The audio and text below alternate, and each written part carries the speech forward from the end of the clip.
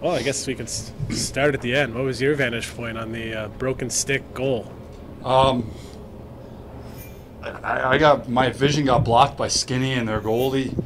Uh, it was a great play um, by Dolls, and obviously Tomer uh, was wound up and ready to hammer it. And he still got enough, I guess you can say. Uh, and then all I saw was the, the, the goal light go off, and Skinny's hands go up, and we're looking back for Tomer because I'm like, no one else touched that puck, and he's at the red line by the time it went in, and he was so mad because his stick had broken, and um, but no, it was uh, a pretty crazy way to end a pretty uh, insane game, honestly. What was Tage's reaction when he found out he scored? Like, He, he had no idea that he scored until we were all together, and he's like, "So who scored?" We're like, "You." Uh, it was very, yeah, interesting to say the least. Alex, what happened in that game from four nothing? I mean, what switch went off? Um, honestly, I, I, I thought it was from the start of the second period. I thought we were going. Obviously, they got a, a lucky break and a nice goal on their fourth. Um, but there was no hanging our heads. There was no feeling sorry for ourselves.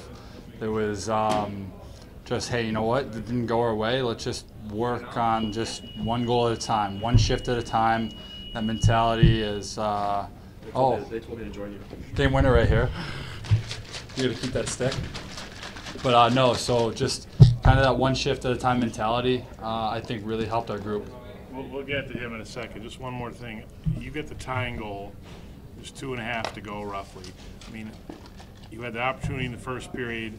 I mean, how big a, you know, you were changing lines again. How big a lift was that taking off your shoulders to put one in there? Yeah, it's been a it's been a bit. It's actually been even longer since I think I scored on a goalie. So um, obviously, when it's not going your way, you're sometimes gripping your stick a little bit more. And uh, you know what? I was just trying to get on that. It's it was an unbelievable play by Mitzi. Uh, just as nice of a pass, if not better, by Oli. I don't know how he saw me. He said he said he must have heard me or something and put it right on my tape. So it's a great play by both of them. Uh, but yeah, no, that one felt good. Tage, Alex said you were pretty upset that you broke your stick. I was uh, before I knew it, it went in. I was pretty upset. Yeah, I was. Uh, it was a good good opportunity there. One timer on a power play, and uh, pretty unfortunate your stick breaks, but not when it goes off the end wall off the skating end. So take those bounces. What was that game like to be a part of, I guess, coming back? No, it's really fun. Um, I mean, I said in the locker room after, like, we got a really special group. I think people outside the locker room are starting to see it. Um, you know, it would have been very easy for us to fold to 10 after the first period and just kind of pack it in and, and give up. But, um, you know, our guys in the, in the room, like, compete for each other. And, um, you know, we take a lot of pride in, in um, you know, the culture we're building and what we want to be in the future. And I think we're, we're trending in the right direction. That game was just a, uh, a product of our work, and um, you know, it wasn't a pretty game, but uh, good teams find a way to win, and uh, we're on our way to being a really good team. You had no idea that puck went in the net. You scored. I was already halfway to the bench, and I heard uh, heard our bench going nuts, so I turned around and saw them chasing me down. So, yeah, I had no clue. That's six games in a row where you guys are tied in the third period now. Is there a through line through this stretch here that's keeping you in tight games? We really didn't want to go into overtime tonight. I think we've, uh, you know, early in the season we we've given up a lot of third period leads and um, kind of blown some games.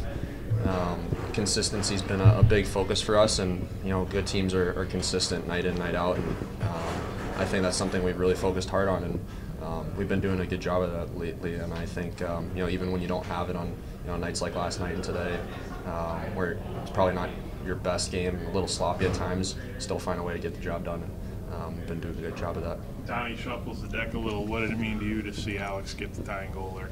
Uh, it's huge. Tucky works his nuts off every every game, and um, you know for him to get rewarded, he's been snake bit in the past few games, and um, I think everyone could see it on the bench there. Everyone's jumping up and down, so um, you know gives us some life too there at the end, uh, getting a power play and find one off the end wall. So What's the lesson here that you guys have developed in the last few games? I mean, this game's four nothing. Looks like it's over. None of these games, really, the exception of Edmonton recently, nothing's ever been over with this club anymore.